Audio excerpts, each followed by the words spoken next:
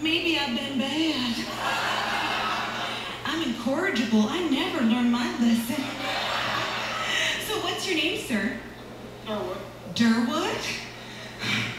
Kind of like that. I don't meet a lot of Durwoods where I'm from.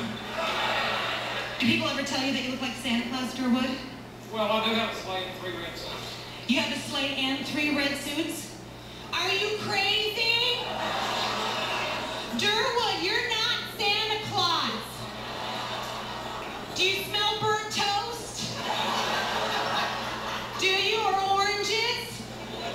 Okay. Well, Durwood, I don't care if you're crazy and delusional. That's exactly my type. Who's that? That's your son? Durwood Jr.? Yeah, you like your dad's wingman? You guys out tonight to sort of, you know, get with the ladies? Like, want to come see my reindeer or whatever?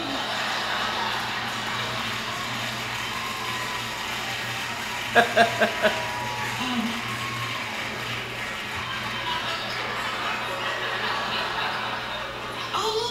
oh, over?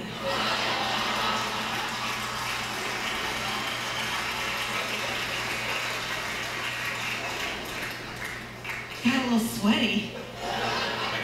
Durwood, you do that to me. I've had a Santa fantasy since, well, never mind. Oh. Shut up, Melissa, they can hear you. So how, look at you, how are you guys doing here? Are you guys on a date? You are? Are you married?